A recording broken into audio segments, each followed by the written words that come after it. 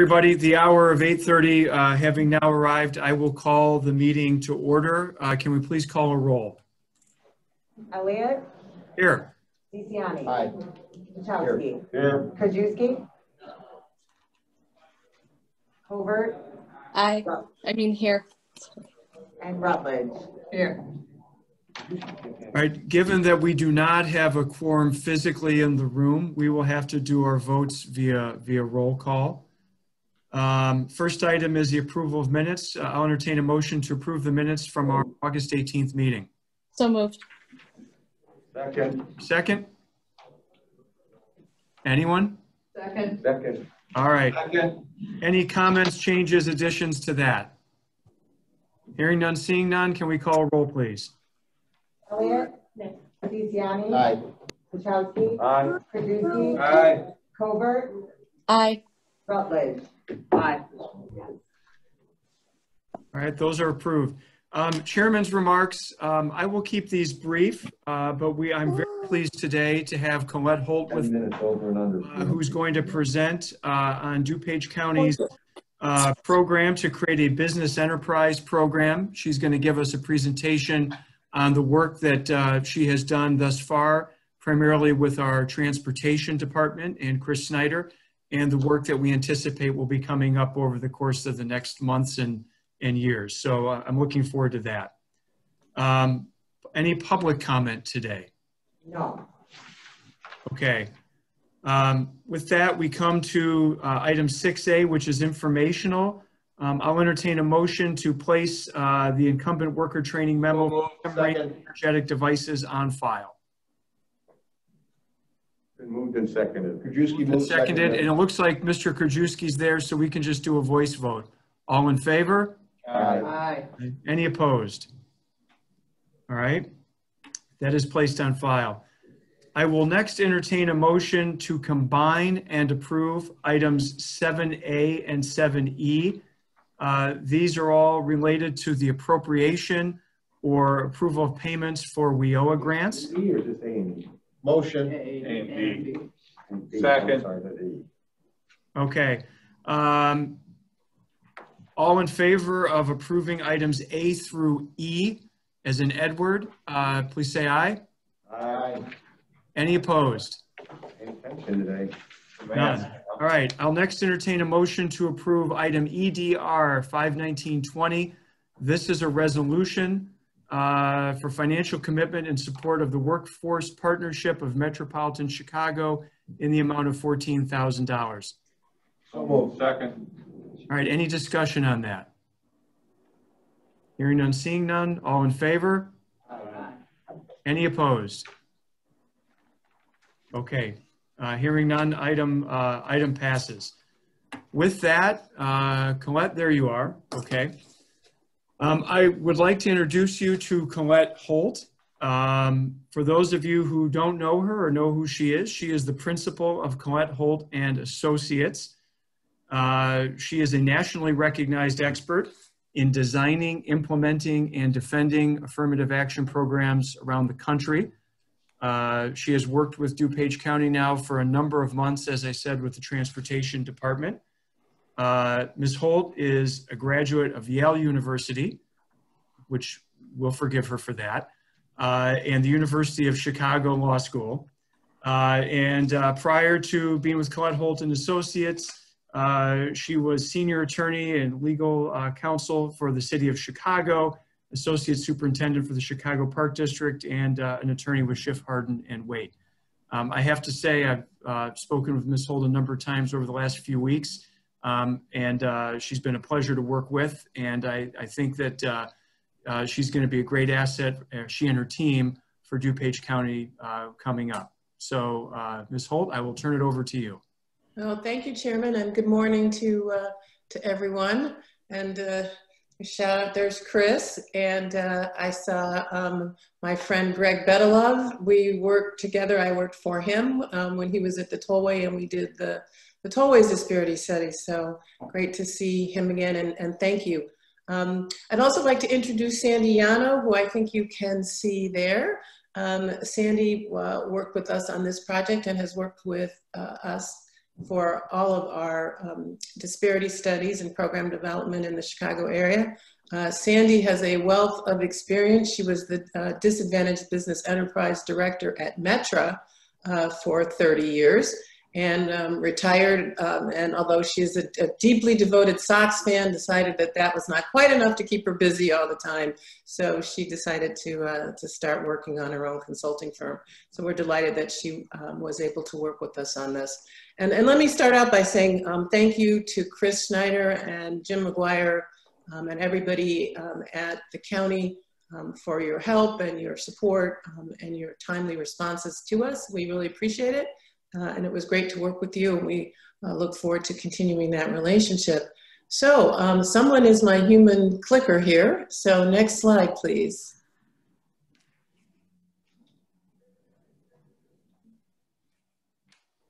All right. Um, well, I wanted to start by uh, describing a little bit about what the pro project objective uh, was. Um, the county I know is very interested in ensuring that all firms have full and fair opportunities to compete for your work um, with a specific emphasis on women and minority owned firms. Um, and we were asked to come in and take a look at your current operations um, and uh, develop a pilot program for you um, while you consider your other options about what you might want to do uh, to ensure that um, all firms can compete for your prime and subcontracts on an equitable basis. So as part of that, we developed a, uh, a scope of work. We looked at documents. We interviewed um, county staff, benchmark what you're doing against national best practices, um, and uh, came up with some recommendations for you. Uh, next slide, please. So here are our tasks. Um, I think I wanted to also just stress that we, we wanted to take a look at your current contract um, and data collection policies. Because one of the things that, that we find across the country is that um, if an agency does not have some system to regularly and um, fully track who is getting its prime contracts and importantly, who's getting its subcontracts, it's very difficult to figure out how you're doing. Um, you know, you value what you measure and you have to have some way to measure it. So uh, you'll see at the end, we have some specific suggestions about that. Next slide, please. We also took a look at um, opportunities for community outreach. Um, I am a native Chicagoan. I grew up on the south side. I still own a, a condo in uh, Lakeview. And um, it was, it's been very interesting to see how the county has changed from when I was a little girl, uh, when you went out there and there were cornfields and cows. And, and, and this, the demographic change has, has been enormous. So we think that you have some fruitful opportunities to reach out to the community, um, to the minority women business community, develop those relationships so that people know that DuPage County is not only open for business, but is welcoming to them uh, and really wants them to participate um, fully. So we uh, developed a list of who those groups were, um, helped you to prioritize those, um, and we're happy to, to work with you. Um, Sandy in particular, this is one of her deep skills uh, in conducting community outreach.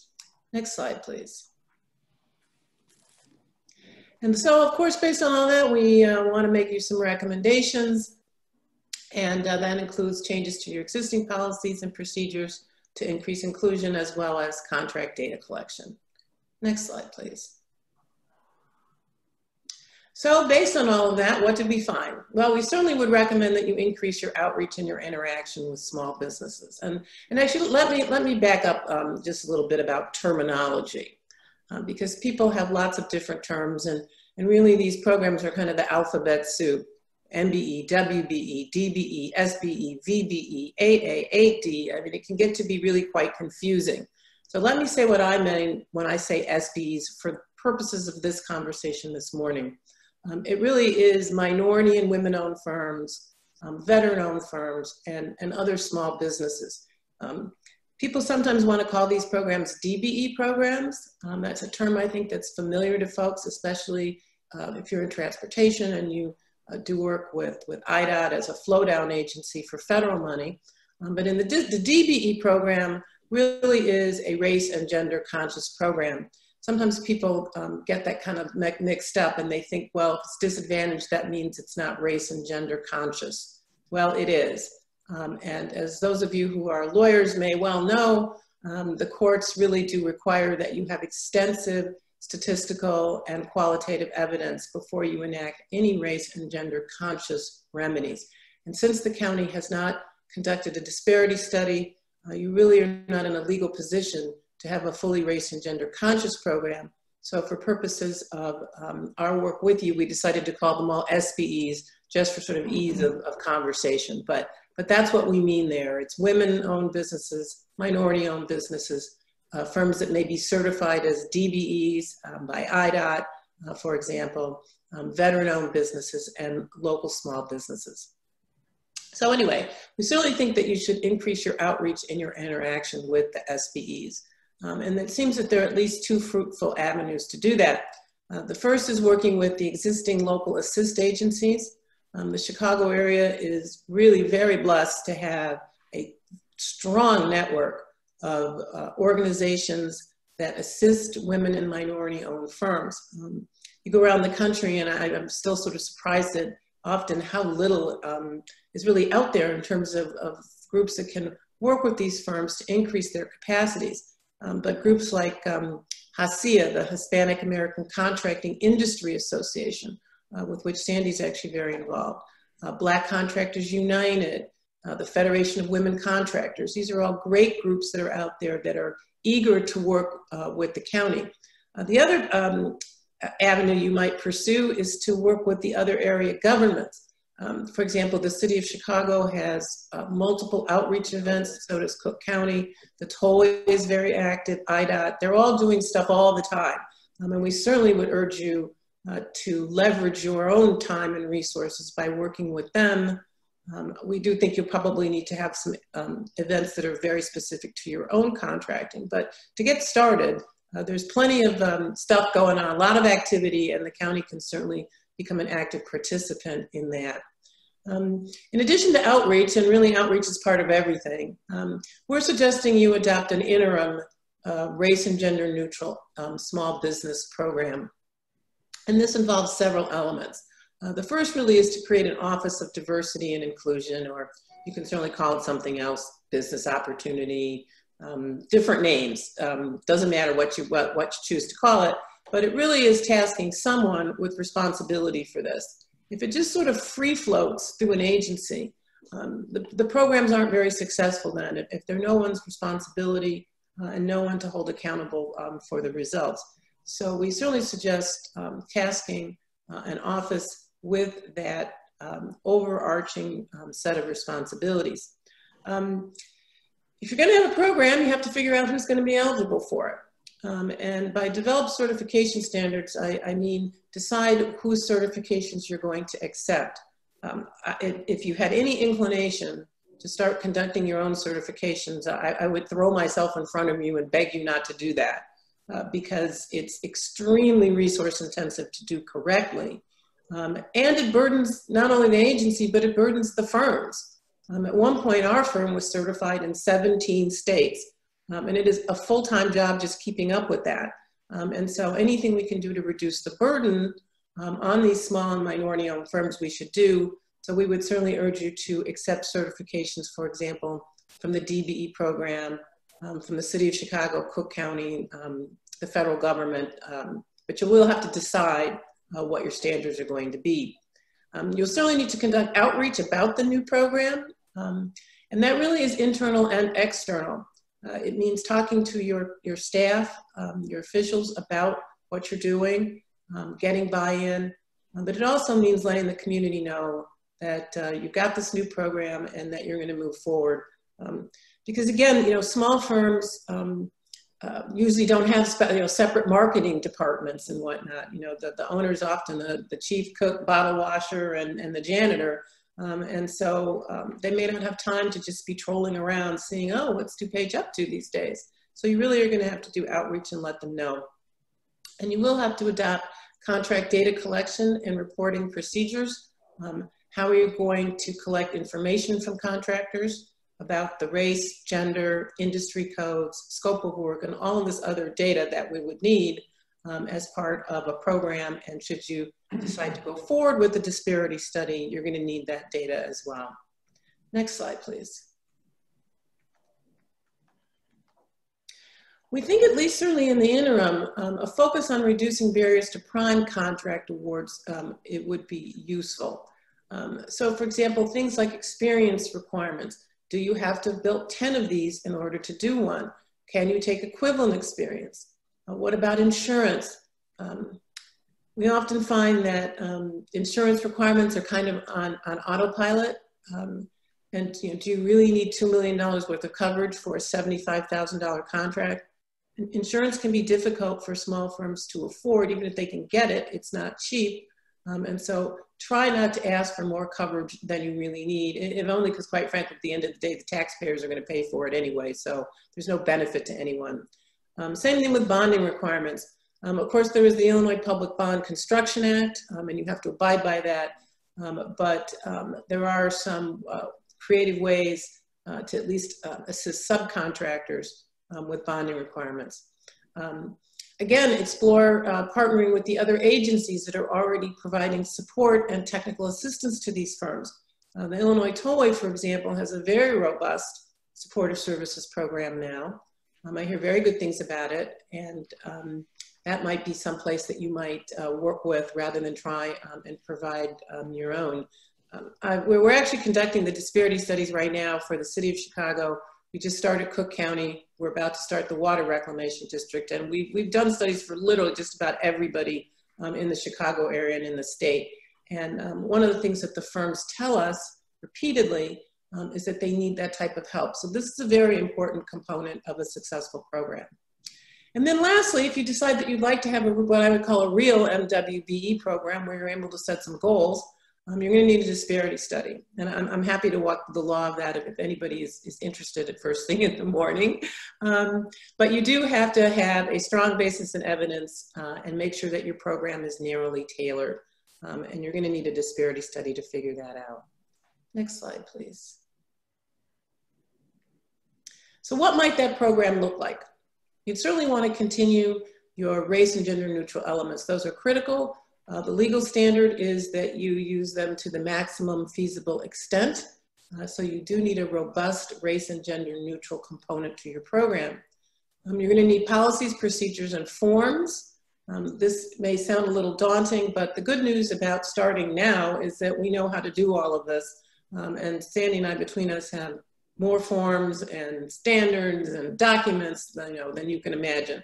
After 30 years, I have a pretty complete set of files. Um, you need to look at your contract uh, language, um, reduce burdens, make sure that you have a program language that explains to bidders exactly what's going to be required. Um, ensuring prompt payment.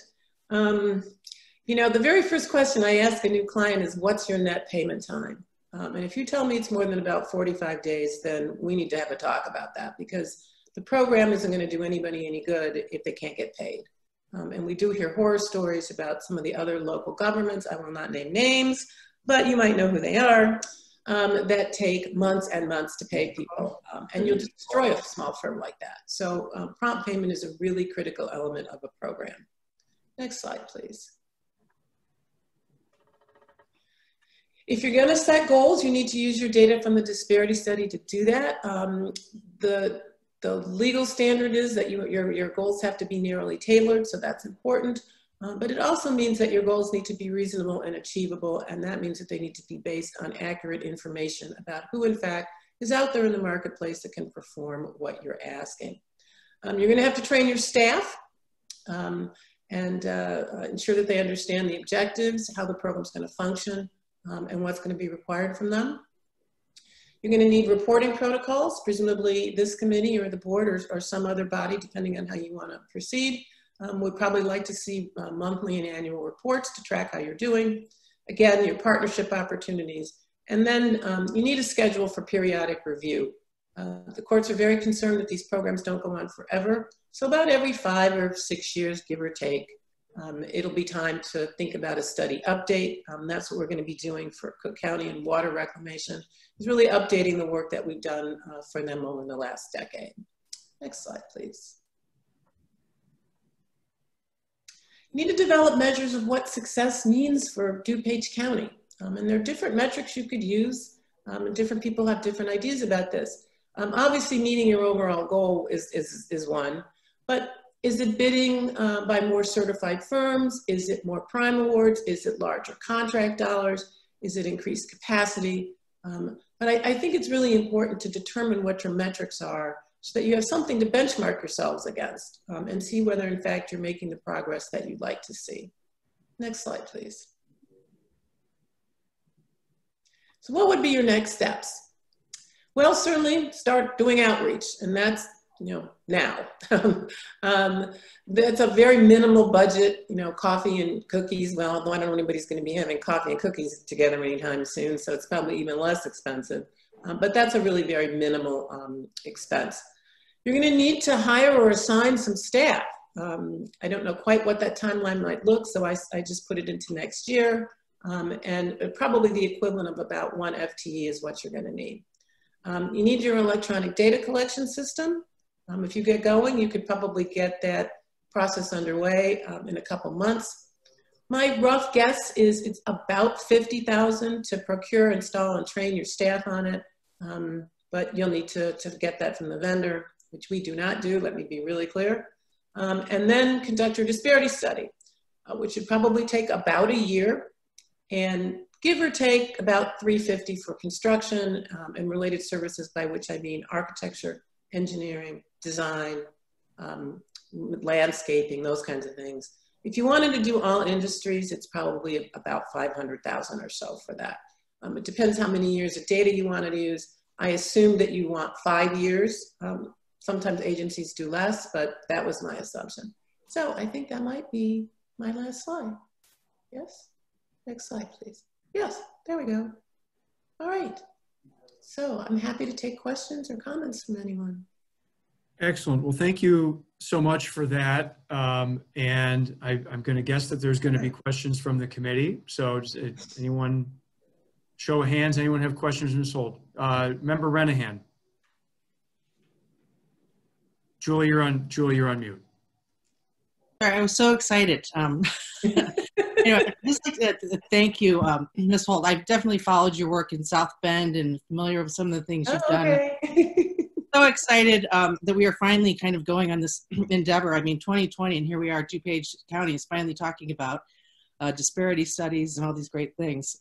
um, you know, I looked, I had a chance to look at your uh, draft report, and then I saw the, the final report.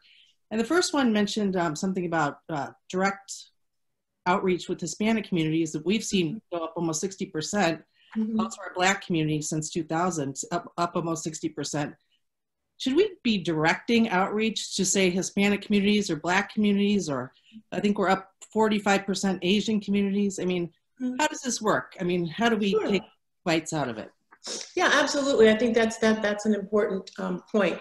Um, there certainly are groups to work with. As I mentioned before, there's HACIA, um, there's the Asian Contractors Group, there's the Asian Chamber. There are lots of groups out there um, that you can um, approach and partner with um, and get the word out. I, I do think it's important myself to have some stress on these groups because um, the counties, as I say, the county's demographics have changed markedly in my lifetime um, in lots of ways. And I, I, think people may not know to go to DuPage County for work. You know, you have to kind of think about that. Everybody knows to go to the city of Chicago. Everybody knows to go to Cook County. Um, but I think that some specific um, stress there would be important. Um, I think you might want to be sure that people have access to some of your materials um, in other languages. Um, we, we did a project, um, a couple of them now, for Chicago Transit Authority and then Metra um, about um, Title VI compliance. That's Title VI of the Civil Rights Act of 1964. And transit agencies in particular um, focus on making sure that all of their populations have access to information. So one of the things that we suggested both to CTA and Metra is you know, they have these, these programs now you just click and it'll translate into, into Spanish or, or some other language so that people have easy access to materials that they understand. Now, I appreciate when you get to contracting, it's a little bit different. You're not going to write your bid specs in five different languages. You're not going to do that. But in terms of people figuring out that you're there, I really do think that some stress there would be would be useful. Um, and Sandy, I don't know if you wanted to say anything about your work with Hacia and, and, and the kind of outreach that you're involved in. Okay, for the 30 years that I was Metra's DBE director, I developed relationships with all of these different organizations. We did list in the document that we gave you the ones that the organizations that are more the most relevant, but there are many more. And what has worked through the years, or when, well, actually, when I started at Metra, my tasks I thought were uh, certification. I oversaw our certification department and our contracting to ensure that we had DBE participation. And as the years went by, I had a, a, third element to my, my position, and that was outreach. And that basically overtook everything else, was making sure that Metra was, that we were represented through the six county region, uh, that either myself or my staff attended the monthly or quarterly meetings of these different, or, uh, different organizations so that they knew that there was a friend. Um, maybe someone didn't approach me one month, but they knew that the next month there'd be someone there from Metra. So it would be a suggestion that you have some type of representation from DuPage County at all these different events or monthly meetings. Of course, right now we're all doing things virtually. I'm on, I'm vice president of the board of Hacia and we're doing our monthly meeting virtually tomorrow morning. But we certainly hope within the next five or six months that we'll all be doing things in person. So currently people are doing things virtually. So it, it gives, it would give DuPage right now a moment to organize itself to start doing things virtually with the hope that maybe after the first of the year or in the spring that we could be doing something um, in person. I do understand, though, that a few of the organizations are attempting to do in person on a smaller level, like the Black Contractors, Owners, and Executives is having a small event uh, on September 26th. We're going to be doing at Hacia our second golf outing on October the 1st because they're small, but we want to make sure that people know that we're around. Mm-hmm. And like I said, there are many organizations. So getting the word out to all of these different organizations and having representation, letting them know that DuPage is here is a terrific start. While you're writing your program or deciding what you want to do, um, you can send somebody out. Right, and Sandy, Sandy speaks fluent Spanish, so um, she, she, she, she, she's good at doing that. right. Thank you both. Member, could- uh, mem- Sorry, Joe, I'm sorry, go ahead. Uh, If I could just do one quick follow-up, um, just for a brief answer so everybody else can have a chance. Um, But you said an interesting thing, Ms. Holt, in the beginning about we need to be uh, knowing who our contractors are and our subcontractors are. And, you know, we often know who our contractors are, but in the end, we approve a contract, we might not know who our subs are. So how do we, how do we best capture that? Um, Well, you, you get a system and you require them to report. Um, certainly all of the other, pretty much I think all of the other governments, with maybe the exception of City Colleges of Chicago, are already using the same system. Um, and contractors, you log in every month, and I have to do it because I'm the prime. So I, I sort of see it from both sides. You log in, you say, here I am, these are the subs that I listed in the beginning, and it has to be all of the subs. And this is something Greg may remember from our tollway disparity study time, um, is you don't have it now, don't look back. You'll never get done. Just go forward. Um, and, and, and let the consultant figure out how to go get the, the information. But you have to know who all your subs are, so you just tell them that they have to report it to you. They enter it into the system, sends an email to the sub so that the sub confirms what they were paid. And so you can monitor that. So at any given moment, if you, you, you, you, said, um, how we doing with, with, with Hispanic plumbers? Right now, you have no idea. You may be doing better than you think, but you didn't ask, so you don't know. Um, and that's going to be really critical because that's how you're going to track whether or not you're meeting your goals, whether or not you need to continue your program, is by making sure you capture the sub data. But this is key. It has to be all of the subcontracting data, not just the certified firms. W- Wouldn't that be on the monthly invoices? Pardon? Wouldn't that be on the monthly invoices that they receive from the, the general contractor? Do they list these subs? Maybe, maybe not. I don't know, Sandy. I haven't looked at their data. My guess is that, for example, they aren't picking up suppliers, so it's not going to be complete. And, and I think to the extent that, especially, for example, if you're, um, like say you have an engineering contract, we generally haven't asked for that. If you go and you hire AECom or Jacobs, they send you an invoice and you pay if they did the work. You aren't actually asking them about who their subconsultants are. So it's that data collection that's really, really critical. The good news, again, for DuPage is everybody's already doing it. So everybody knows how to do it. So the contractors that do work for Cook County and the Tollway and IDOT are gonna be the same people that do work for you. So they know the drill. It's the county that's gonna have to get up to speed, to be frank Right. about it. Right, hey, And I, I can, and I can tell the committee, and sorry, Julie, um, I can tell the committee that, um, over the course of the past couple of weeks, we've had a number of discussions with staff, and I do believe that we are already in the process of putting together the uh, appropriate uh, paperwork to get the type of software program that I think you saw in Colette's last slide. Um, Chris can perhaps uh, fill us in a little bit later on that, but um, we're already taking steps forward on that process. And I apologize, there's, there's a lot of animals in this house. And um, locking them out, then they just scream. So they're just, sorry, there's some sort of activity back there. The puppy is bothering the cats. That's okay. I think I saw, Member Puchalski, did you have a question? You know what? Kim, could I just ask one, because I gotta go to Public Works at nine o'clock. Sorry, So- Member Don, uh, Brian Okay. Krajewski's going to jump the line. You wanna go? I'll go next door. Go, go, go, go. Just real quick, and, and, um, I saw in the project overview, you know, you listed the MBE, WBE, VBE, and I, I mentioned this to Chairman Elliott the other day, I didn't see DBE in that project overview, and then you mentioned later on that, um, something about we couldn't do DBE, or you didn't want to use DBE because we didn't do some kind of diversity. Um, and then I know San- Sandy just mentioned that when she was at Metra, she made sure she had DBE participation. Um, and I think with DuPage, can we, I'd like to see us do more DBE, because some of the MBEs are very large and they already can compete. Um, but can we set aside a portion, whether it's twenty percent of the contract's gotta be minority, but ten percent DBE? Our projects are much smaller than IDOT, City Chicago, um, Tollway. And I'd like to see more smaller firms, so more DBEs get that. But you made a comment about what wasn't in your project overview, we couldn't do it because of something. Okay, well, there's a lot, there was a lot in there. So let, let, let, let me, let me unpack that for just a second. Um, when you're talking about, for example, IDOT's DBE program, that is a race and gender conscious program.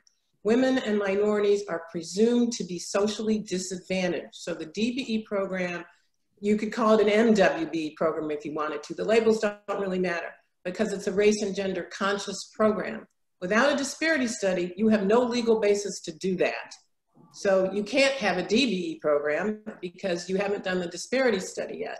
You So can't have have an MWBE program. Doesn't really matter what you call it. Um, so it's important to understand that without a disparity study, you have no legal basis to take race and gender into account like the DBE program So we'd does. have to do that first, to have the DBE, because there's a financial aspect of it too, because. the Well, there is. So this may be more law than you wanted to hear real quick, but, but just quickly, there are three components to the, dis- to the DBE program to be eligible. You have to be a racial or ethnic minority or a white female, presumptively, although other people can participate. If you like, I can explain how that works. The second thing you have to be is you have to be economically disadvantaged. And that's a personal net worth limit. And the firm has to be small. Those are three independent um, and necessary criteria. You have to meet all three of them in order to be eligible. Because I would like to see us have more of that than, um, a portion set aside for that than the MBEs, which have already graduated and they, you know, their net worth's too, too large, but to give more opportunity for the smaller businesses. So I'd like to see us at least maybe long-term look towards putting a program in so we can do DBE for the smaller, uh, businesses. Right, well, I, I, think it's a, um, certainly from a legal standpoint, and I'm not here to really give you a legal opinion because I wasn't hired as your lawyer, but I will say this. In order to have a defensible MWBE, DBE, again, it doesn't matter what you call it, you are gonna need some kind of size limit anyway. So that, that kind of goes without saying. No government program should have deep MBEs or WBEs in it that are huge companies. If you get sued, you're going to lose. So I, at least I'm, i can um, assure you that any program that you would adopt would have size standards, it would have some type of personal net worth limit, um, and it would be presumptively for women and minorities or, or other groups that might be able to come in. So that's built into the program. I know we already have a transportation, I was to say, we already have some large MBEs are, uh, that are participating, that we get contracts out. Right, well, in the DBE program, the size standards vary. They're set by the SBA, the US SBA, um, and so we probably urge you to do the same thing. Um, do know at least that for the, the MBE and WBE certifications for Cook County and the City of Chicago, which now have full reciprocity, they have a size standard and a personal net worth limit. So that's all built into those certifications. Thank you. And, and I want to, and I just want to make sure everyone's, everyone's clear on this. And I, I think Colette has been clear, but I just want to reiterate the point. We're talking really about a two-step process here, right? I mean, the, the sort of robust programs where we can really uh, identify and target um, M- MBEs and WBEs, that has to await the results of the disparity study. Mhm. Because we have to understand what the data tells us about what we can do before we decide what we're going to do. And that's that line item that I think was between 350 and 500,000 dollars as a projected cost and a 12 month time frame um, as a projected time frame on that timeline. I think most of what Colette has really been talking about has been, while we're waiting for that disparity study to get done. What are the steps we can take now? Now, right? And and one of the steps is is we can start focusing on our small businesses, right? We can have something that does not necessarily have race or gender as a criteria because we don't have those legal limitations on that. Um, and we can begin, and I think this is what Sandy was mentioning too, we can begin taking the step, we're going to roll out the more robust program. We've already established the relationships with HACIA and with everybody else so that we're ready to, we're ready to roll. perfect. Thank you. Once in a while, I get it right. Don, I think you had a question. I had two, thank you. This Office of Diversity and Inclusion, that's a private and public sector uh, group that would include some of these groups that we're trying to get in the process, is that correct? No, no, let me explain, and I'm, I apologize if I wasn't clear on that. Um, no, this is, this would be an office in the county, you know, like your county- other County department then, correct? Okay. All right, and my second, is this uh, diversity study, I mean, if I read Cook counties, would it help me out, or is, it- is, is, it- I assume is it component parts of a diversity study in DuPage different than what's going to be in Will and Lake and McHenry counties or Cook? I mean, can you tell me a little bit about this diversity study? Sure, and if you want some good bedtime reading, because we have an awful lot of charts and an awful lot of, of statistical stuff in there, but you could start with our, our tollway study. Um, and I'm, I'm happy to, to, to get that to the chairman, to get to everybody. I, I think it's probably still up on the tollways website, but just. I would like, I would like one that's most relevant to DuPage County. So if you think that's the tollway, or if there's another uh, a client you had in the past, whether you're from Illinois or not, I would like something that you would think was somewhat similar to DuPage rather than the toll authority. So if you could do that to the chairman, I would appreciate that. Sure. I'm happy to send you the, the Cook County study. It's getting a little long in the tooth. Probably it's, it's a different market, but the most um, uh, relevant situation is a, is a, a disparity study we, we just finished a couple months ago for Harris County, Texas, which is Houston. Um, and they had no program either. Um, the cities had a robust program for decades, but the county had nothing. And we are in the process of writing their new program for them. But I'll send you that disparity study because it, it's the closest thing in terms of an agency that is large, that is complex, um, but that not that has not had a, uh, um, um, a study. So Thank you very much. you more stuff than you want to read, but All right, no, thank you. All right, Member Covert. Thank you, Colette, for this wonderful presentation. And I'm I was just so happy to hear about all this information, the legal requirements. It's it's uh, it's a lot to take in and uh, very important. Um, I had a question about the Office of Diversity and Inclusion. Um, we already have an office, uh, Greg. We have a with Greg Bedalov, Choose DuPage, an Economic Alliance Development Group. And I was just thinking, I don't know maybe Tim, you can answer my question, or Greg, would it, or Colette, would it be, um, would it would it be okay to set up an office of diversity inclusion within an economic alliance group, or does it have to be completely separate from what we already have? Well, right you now. could, and I'm not, um, I don't know really quite enough about what Greg is, is up to these days, and I'm just so delighted to find him again. Um, and uh, so we could certainly talk about that. Um, generally, it, it's a standalone office in an agency, but it doesn't have to be. I mean, I think we could think creatively about how to leverage the resources you already have and the work people are already doing, um, especially in what I assume are going to be increasingly tight budget times here. It, it's not going to be good for a while. So, um, you know, that would be something I would certainly be happy to, to talk with. And I know um, Greg understands these issues very well. Poor man, I, I dragged him through the mill um, when he was at the tollway, um, and he's super committed to it. So if that works for you, that sure, why not? Let's see what we can make work that you can get going, so you can make some progress now. More work for Greg. Just. Okay. Member Elliott, Chairman Elliott, and Colette, the only thing I would add to that, yeah, bring it on. I, I, as Colette said, we did great things together at the Tollway, and I would welcome the opportunity to try to do great things together at DuPage. Um, the only thing I might add to that, and because it sounds like the county, at least this committee, is is thinking about taking a measured, stepwise approach and doing small things as opposed to just jumping right in and let's say let's create an office of diversity and inclusion and put a disparity study in place and start hiring people. Uh, one thing that we did at the Tollway, Colette, you'll recall, is we also created a diversity and inclusion advisory committee, Mhm. which was a public-private partnership, as I believe it was uh, Member Puchalski said, where we had regular meetings with the after the Black Chamber, with HACIA with the veterans groups.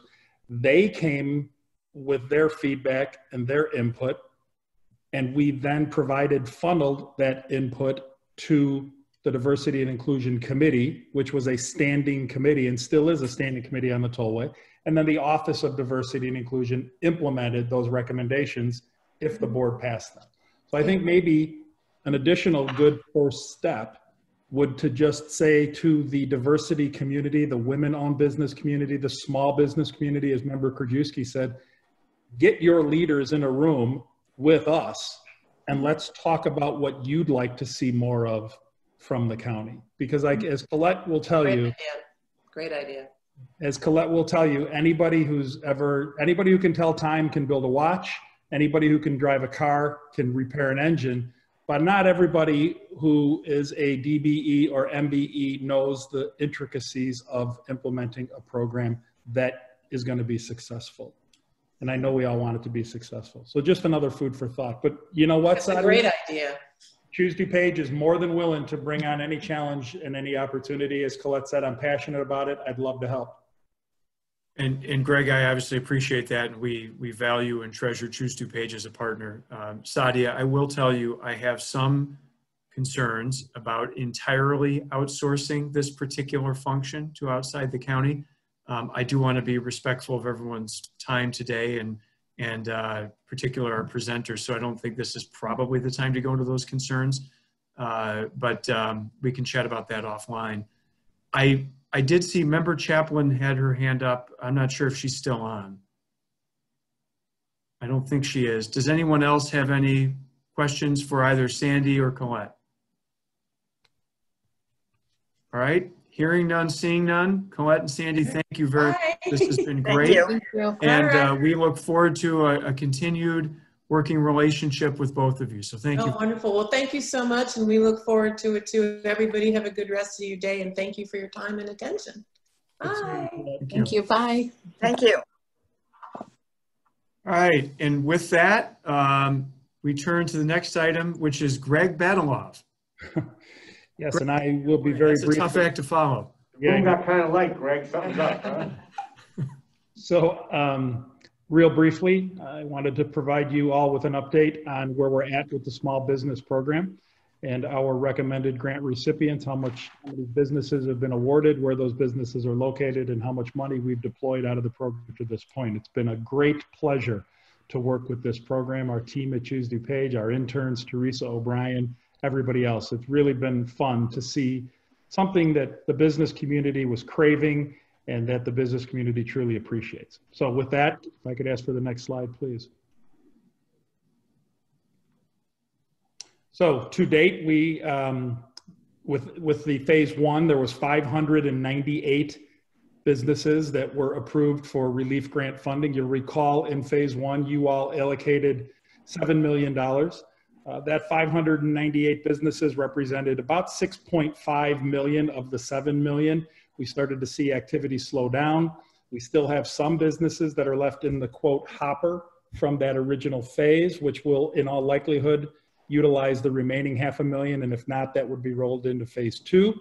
Phase two, we brought two batches in front of you. The first batch had 155 applicants of which 152 were businesses, three were contractors. You'll recall phase two no longer has the PPP restriction or the COVID relief fund restriction. Uh, we, and our second batch was 209 applicants that are being recommended for approval. And I should let you know that our grant committee and uh, our grant committee just met yesterday. And the third batch will be another 298 applicants. So um, you know, we're at 2.817 million out of these 209 that are recommending relief funding for this current batch, batch two, phase one. So Greg, may I, Greg, may I interrupt just for a, a quick question? Please. Is phase two, batch one, the 155 applicants, is that what we approved last week at the county board? Correct. Okay. Batch So- two is coming before you. And then batch three, as I said, will come at your subsequent meeting. Thank you. Sorry to interrupt. It's okay. And batch one, I should let you know, was just over 2 million, the 155 applicants. Next slide, please. So again, for this program, um, we recall we had the restrictions of having received previous COVID relief funds. That's been removed for phase two, but the other par- parameters remain the same, 1.5 million in revenue or less and 15 or fewer full-time employees for a business in good standing with the state of Illinois. And if you're an independent contractor, more than 50% of your income must be 1099 work. Next slide, please. So of the 203 that are due to come before you this time around, here's a real quick breakdown. And this is pretty consistent across all the batches. 146 of them are corporations, 10 are sole proprietors, 41 are LLCs. We have our share of not-for-profits and our limited partnerships. Next slide, please. There's been a lot of questions when we when you all launched the program that was it going to be fair and was it going to represent businesses across the county in conjunction with the county's GIS team, um, who have been absolutely phenomenal. I should let you all know that. They've been tracking where these applicants are located. And as you can see, we have great representation from throughout the entire county. On the county GIS system is a link that can give you a breakdown on a town by town basis or a district by district basis. I didn't want to include that in this presentation for time's sake and because I didn't know how many districts would be represented in the Economic Development Committee meeting. So if you want that, I'm happy to share that with you. Should be six. Next question. Or I'm sorry, next slide. Um, so this is interesting. Um, the average annual reported income in phase two, which again is businesses that may have received previous COVID relief funding, is about two times what we saw in phase one. It's almost half a million dollars in average annual reported revenue, and their estimated COVID 19 financial related losses on an annual basis are over $170,000. So, phase two, long story short, bigger businesses, they've applied for PPP and may have gotten it already. And quite frankly, the applications are much more thorough and much more complete and much easier for Choose DuPage to administer. Next slide, please. Uh, the average amount requested from the businesses in phase two, remember we have a $15,000 cap. And I'm really, you know, this, this warms my heart to see that businesses are asking for what they need, not just everybody asking for the 15,000. The average amount requested was 14,059 and the average amount grant recommended is 13,476. Next slide, please. For our contractors on this batch, again, there's only six of them. Um, and they've reported an annual income of 42,000 and they need the money for loss of income and other sunken service fees and expenses. Next slide, please. They're located throughout the county, but again, there's only six of them in this batch, so not much to look at there. Next batch, please. Or next slide, please. They're asking for on average 6,200 and being rewarded on average just under 4,500. And I believe that is my last slide. But I do want to, again, thank you for entrusting Choose DuPage to administer this program. Um, we, we've deployed all the money virtually from phase one. We're now about $5 million into phase two of the 9 million that's been allocated. And at the rate we're going, we'll probably have four batches that we will bring in front of the county before all the money is exhausted. Our biggest fear at this point is that we think we have more applicants than we have money, but we knew that could potentially happen. Um, and we have let everybody who is applying know that it is a first come, first serve program. With that, I'm happy to answer any questions. Any questions for Mr. Bedalov? Obviously, he did a great job and was crystal clear in his presentation because no one has questions. Thank you very much. All right, and then last but certainly not least, we go to Lisa Schvach from WorkNet DuPage. Lisa, you are the grand finale today. Bringing up the uh, background of the presentation, I will be um, also extremely brief. Uh, first slide here, and I'll make sure everybody has a copy of this after the fact. Um, I don't know if it was included in your packets, but here's updated unemployment data. Um, I include that chart on the left to demonstrate uh, the temporary layoff component of this entire COVID-driven uh, economic uh, recession that we've kind of entered into here.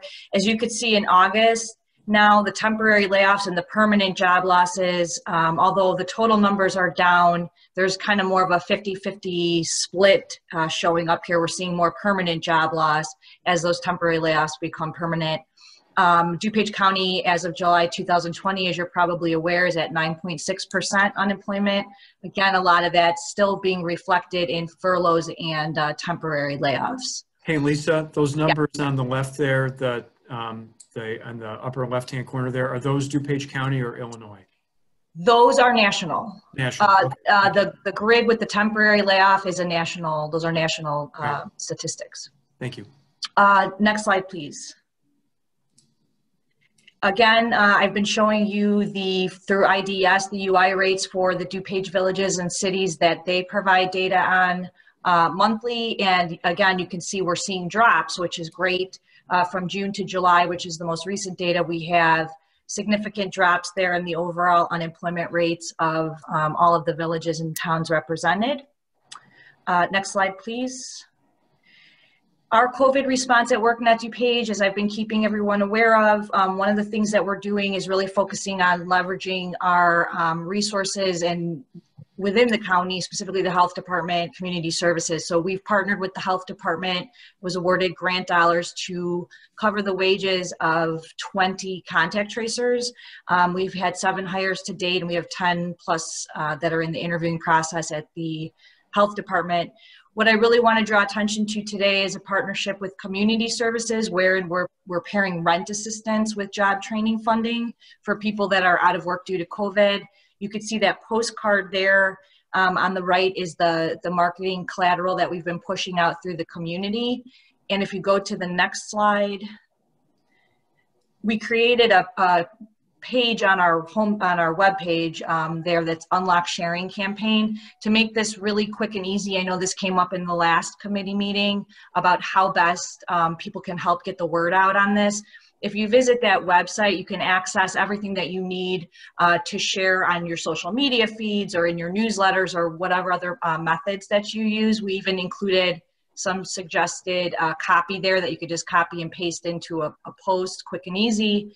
Um, also, if this is something that you would want to mention at a meeting or an event that you're at, we included some key talking points. So it's really sort of a turnkey solution. Um, and if you go to the next slide, this is a very small um, screenshot of what you will see when you go there. But if you expand um, when you visit the site on any of those, share in your newsletter, share on social media, it's just quick and easy, boom, boom, boom, and you've shared out the information um, on our and the county's behalf, which we think is going to be a really good tool for everybody to use moving forward. And then the last slide, Uh, as you're aware, we've been working on our own kind of equity and demographic study, looking at all of the uh, WIOA participants from last program year and doing some analysis of uh, what types of training programs or industry sectors different groups of people are um, primarily selecting for training, what career pathways they're selecting. We're still kind of in the process of trying to boil that data down and get some uh, clear takeaways from that so that we can set some goals for how we're career counseling people. So I'll keep you posted on that. And um, we do have, based on data, identified some target towns and villages for this program year that we really want to see the number of residents from certain towns go up. Um, very few people, for example, served from Wood Dale, from Hanover Park. Uh, those are areas that are areas of need based on the percentage of residents that are below the poverty line and the percentage of residents who do not have a high school diploma or GED in those particular towns. And yet we're seeing a very low number of WIOA participants. So we're actively um, engaging with with those specific towns to try to drive our numbers up of the people we're serving from those areas. Um, and I think that's the end of my presentation. And if there's any questions for whoever is hanging in with this call, I'd be happy to answer those. Pete, Sheila, do you guys have questions for Lisa? I'm good. Um, quick question on contact tracing. What, what kind of, um, um, wage are they making, the contact tracers, and how long do you think those jobs will last for? So there's two levels. There are associates and specialists. The specialists are hired at $21 an hour and the associates at 18 an hour.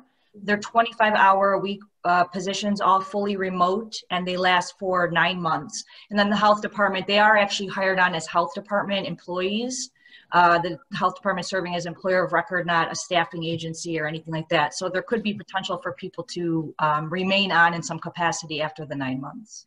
Okay. So if we have people that might be interested in that, send them your way, or is there an online uh, application?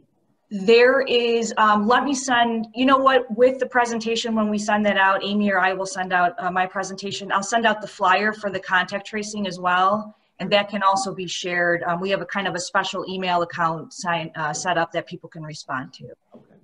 Are those, uh, is that, uh, uh, twenty-five hours a week? Are they, are they working on their own time? Or are they working like certain, uh, mornings or afternoons or evenings? Or is there a, a time, uh, window when they have to make those calls?